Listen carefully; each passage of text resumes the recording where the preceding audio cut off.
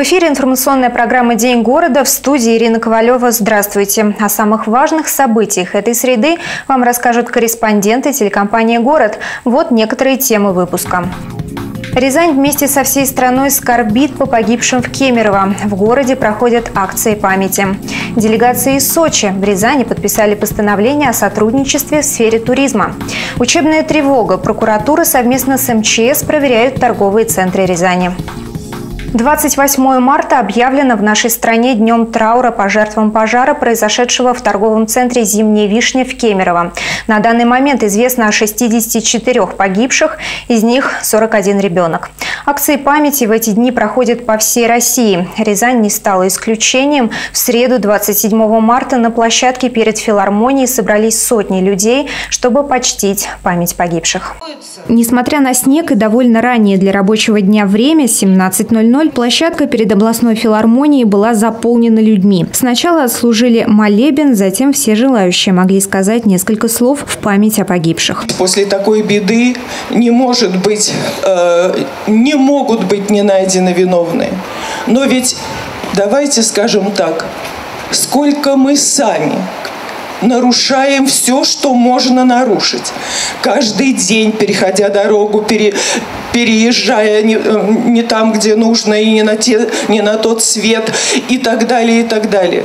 Сколько небрежности мы допускаем, как мы плохо подчас выполняем каждый то, что должен делать абсолютно э, точно и хорошо.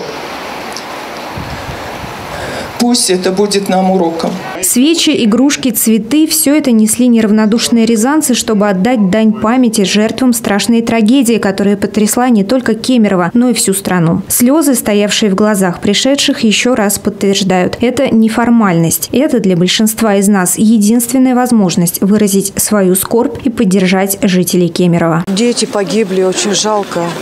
Техника безопасности была не соблюдена. Наши все дети, наши внуки. Мы не можем оставаться в стороне от такого горя всей страны. Все очень скорбим, переживаем. Мы пришли почтить память погибших. Мы очень соболезнуем родственникам и людям, которые причастны, ну, как-то друзья, близким. Мы пришли, чтобы поддержать жителей Кемерово. Это общая беда. Это общая беда, это общее горе. Я, как сотрудник детского сада, не могла пройти мимо. Когда погибают дети, это как-то это самое печальное, что может быть в этой жизни. Потому что если гибнут дети, нации нет будущего. Цветы и игрушки продолжали нести в день национального траура 28 марта. И хотя все это вряд ли умерит боль тех, кто потерял своих близких, своих детей, жители Рязани хотели бы, чтобы в Кемерово знали – мы с вами, мы скорбим. Ирина Ковалева, Олег Парамзин, телекомпания «Город». Подобная акция состоится и 28 марта в 20.00. Все желающие могут почтить память погибших на парковке у ТРЦ «Премьер». К другим темам. В период с 27 по 30 марта в Рязани по поручению прокуратуры области проходят проверки мест массового скопления людей. Уже были проинспектированы несколько крупных торговых центров. На одной из проверок побывал Валерий Седов. Торговый центр «Премьер», Рязанский, «Барс» и «Барс Премиум», а также «Виктория Плаза». Это только пять крупнейших точек в железнодорожном районе города, которые будут проинспектированы. С самого утра социальные сети заполонила информация о проведении учебной тревоги в различных крупных центрах Рязани. Например, в «Премьере» люди эвакуироваться не стали и продолжили делать покупки. Также, по словам очевидцев, сработали не все датчики противопожарной системы. Проверка продолжилась в торговом центре «Виктория Плаза». Началась она, как и обычно, с осмотра всей документации по пожарной безопасности и документы организационного характера, приказ назначения лица ответственного за пожарную безопасность, инструкция мер пожарной безопасности, прохождение пожарно-технического минимума, а, журнал предпожарного инструктажа, журнал учета огнетушителей. Проводит проверку прокуратура города Рязани, а сотрудники МЧС выступают в этом вопросе специалистами. С инспекцией в торговый центр приехал начальник главного управления МЧС России по Рязанской области Сергей Филиппов. Долго церемониться он не стал и сразу же приступил к проверке работоспособности пожарных рукавов и огнетушителей. Давайте, открывайте.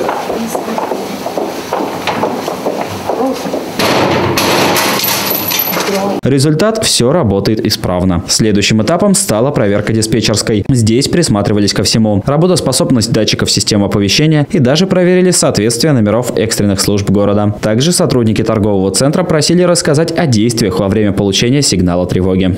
И он срабатывает датчик с указанием конкретного места. Загорается красным цветом, Загорается красным цветом. Идет звуковой сигнал, оповещение, сработал такой-то датчик, там-то, там-то, там. База подает, в смысле оператор подает команду охране, охрана бегом бежит туда. Сотрудники МЧС отмечают и записывают все выявленные недостатки. По словам Сергея Филиппова, пока их немного, но каждый из них важен. Один из недостатков, это типовой недостаток, к сожалению, что сообщают сначала руководителю, бегут смотреть, а потом уже вызывают пожарную охрану, а минуты уходят, понимаете? Всего в Рязанской области планируется проверить 50 крупных торговых объектов, 38 из которых находятся в городе. 28 марта прокуратура города Рязани совместно с сотрудниками МЧС уже побывала в Барсе, Премьере, Глобусе и Леруа Мерлен. К сожалению, практически в каждом торговом центре были выявлены нарушения. Валерий Седов, Олег Парамзин, телекомпания «Город». 28 марта состоялась встреча представителей администрации города Рязани и делегации из Сочи. На мероприятии гости города продемонстрировали презентацию санаторных курортов Сочи и рассказали обо всех преимуществах туристического отдыха. Цель встречи – обмен опытом в сфере туризма. Ежегодно в Сочи проводится более 300 событий и мероприятий. В городе непрерывно функционирует несколько десятков отелей и санаториев. На протяжении последних лет он стал одним из туристических центров страны. И 28 марта делегация из Сочи посетила Рязань с целью обмена опытом в сфере туризма. В Рязани уже сформулирована идея привлечения туристов. Звучит она так – Рязань больше, чем кажется. Благодаря большому туристскому потенциалу и хорошо развитой туристской инфраструктуре Рязань готова к значительному увеличению туристического потока. В 2017 году турпоток ориентировочно составил более 450 тысяч человек, что на 30% больше, чем в 2016 году. Вместе с тем нам, безусловно, есть э, что принять у наших коллег из Краснодарского края, поскольку развитие туризма, санаторно-курортного комплекса и качество услуг в крае и в городе Сочи находятся на самом высоком международном уровне.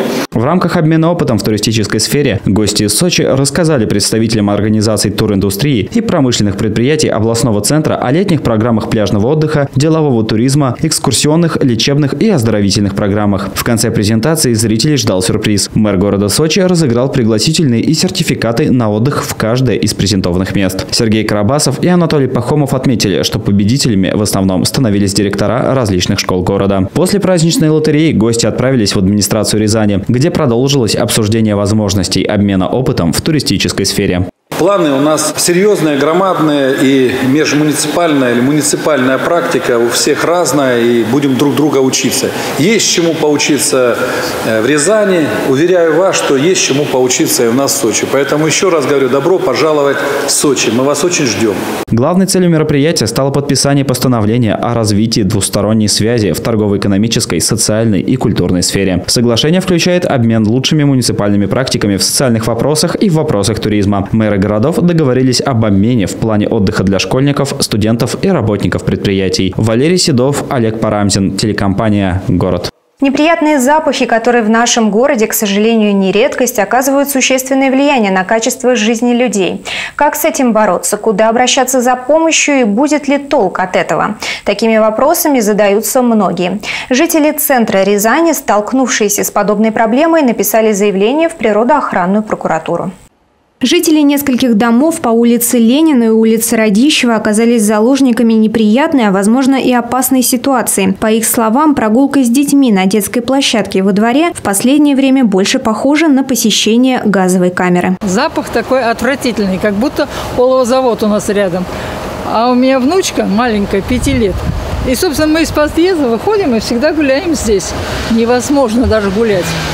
Запах невозможный. Со второго этажа шел тоже мужчина со своей женой. Его аж до рвотины. Источник неприятных запахов очевиден – магазин, в котором осуществляется изготовление полиграфии. Жители обратились с жалобой на деятельность магазина в природоохранную прокуратуру, и 28 марта была проведена проверка с привлечением специалистов Министерства природопользования Рязанской области, Управления Роспотребнадзора, а также передвижной лаборатории. Было установлено, что действительно по адресу 19А э, по улице Ленина осуществляется э, деятельность, э, связанная с изготовлением печати, штампов при использовании лазерной установки. При этом при работе данной установки в атмосферу выбрасываются за пределы помещения, непосредственно в сторону детской площадки, выведена труба, из которой э, выбрасываются вещества. В ходе прокурорской проверки руководителя данной фирмы попросили произвести изготовление печати. В ходе данной процедуры было установлено, что эта деятельность сопровождается неприятным запахом. В помещении э, организации, где осуществляется полиграфическая деятельность, установлено, э, установлено установлен лазер, лазерный агрегат, где э, осуществляется э, лазерная гравировка, в том числе из резиновых изделий, из резинового сырья. Установлена, смонтирована система очистки, трехступенчатая система очистки, то есть э, газы, пары, которые образуются при э, э, лазерной гравировке, в том числе резины, поступают через очистку э, и выбрасываются вот непосредственно через окно, как описали жители, в атмосферный воздух воздух. По результатам проверки специалистами будут проведены дополнительные лабораторные исследования и сделан вывод о наличии нарушений. И уже тогда будут приняты меры прокурорского реагирования. Предварительно установлено, что разрешительной документации, связанной с выбросом загрязняющих веществ в атмосферный воздух, у данной организации нет. Ирина Ковалева, Станислав Кудряшов, телекомпания «Город». В среду 28 марта в автоколонии 1310 компания «ГАЗ» презентовала пять новых моделей автобусов. Машины осмотрели начальник городского управления транспорта Сергей Кулик, а также руководители муниципальных и коммерческих перевозчиков. После знакомства с техникой ее можно будет протестировать, а в перспективе пополнить ей автопарки. На сегодняшний день общественный транспорт играет значимую роль в жизни каждого человека. Насколько комфортно и безопасно будет наше передвижение по городу, зависит и от перевозчиков, и от производителей транспортных средств. Последние в своей работе стараются соответствовать всем требованиям, которые предъявляют к общественному транспорту перевозчики и пассажиры. Мы а, собираем информацию от пассажиров, от перевозчиков, изучаем рынок. А, все это передаем в, в инжиниринговый центр. И благодаря этому выпускаем ту линейку автобусов, которая на сегодняшний день соответствует э, всем требованиям безопасности, комфорта и так далее. Может оборудоваться кондиционерами, может оборудоваться различными системами информирования пассажиров. Представленные в автоколонии 1310 автобусы соответствуют всем требованиям. Одну из моделей «Вектор Next», работающую на природном газе, передали муниципальному перевозчику месяц назад. Машину пустили по маршруту номер 98. Мы сейчас его обкатываем, смотрим э, пассажировместимость, э, количество потребляемого газа на маршруте.